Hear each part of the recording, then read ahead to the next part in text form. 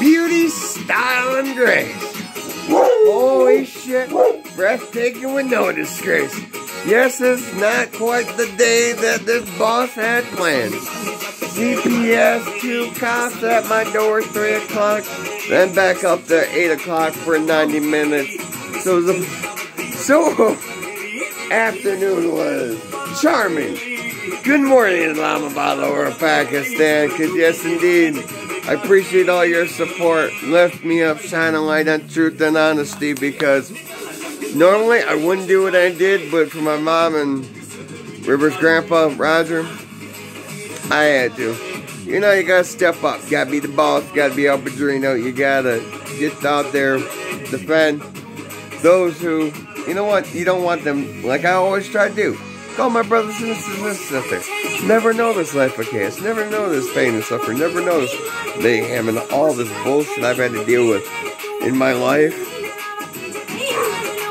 You find yourself at a point where I love you, Pakistan. I love you, Pakistan.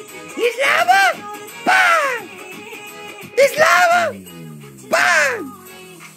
You gotta find your laugh, you gotta find your smile, because otherwise, shit's gonna just drag you under. So you, Marisha Woo! Daddy is romantic.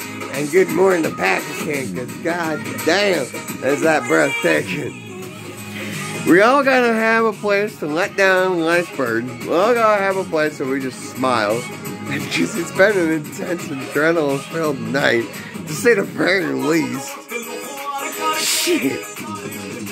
Sometimes it feels good to be the king of kings. Who wants to make love in Pakistan? Because I'm still the same man in the same cut, single father, mother, looking out for the best interests of my child. Who wants to get married in Pakistan? Who feels like making love? I just.